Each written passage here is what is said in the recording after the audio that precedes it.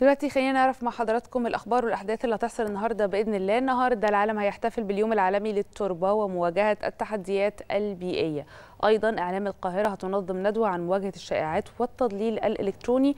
كمان النهارده في مباراتين مهمتين في ثالث أيام دور 16 ببطوله كأس العالم.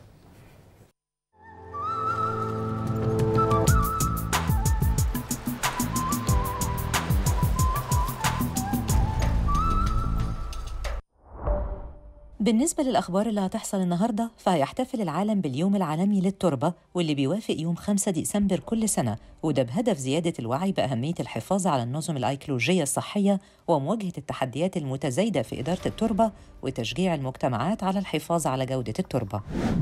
النهارده هتنظم كلية الإعلام جامعة القاهرة ندوة تحت عنوان التربية الإعلامية ومواجهة الشائعات والتضليل الإلكتروني.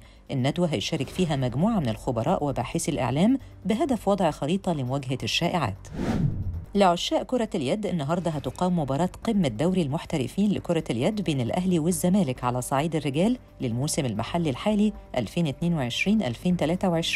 والمؤجلة من الجولة الثالثة للبطولة على صالة حسن مصطفى بأكتوبر.